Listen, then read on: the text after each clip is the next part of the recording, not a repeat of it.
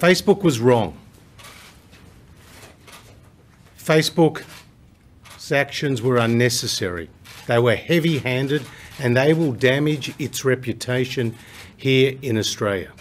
Their decision to block Australians' access to government sites, be they about support through the pandemic, mental health, emergency services, the Bureau of Meteorology, were completely unrelated to the media code, which is yet to pass through the Senate.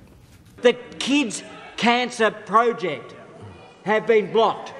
This is outrageous and unacceptable. I can understand why people are responding uh, to the actions we've taken today, but I, I just want to be clear that we've been saying for many months that this law, which fundamentally misunderstands how news works on Facebook, will have consequences for what Facebook can do in Australia.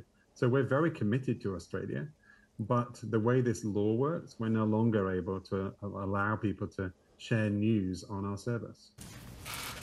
But what today's events do confirm for all Australians is the immense market power of these media digital giants.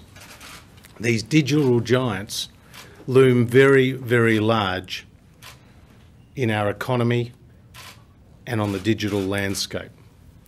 The Morrison government remains absolutely committed to legislating and implementing the code.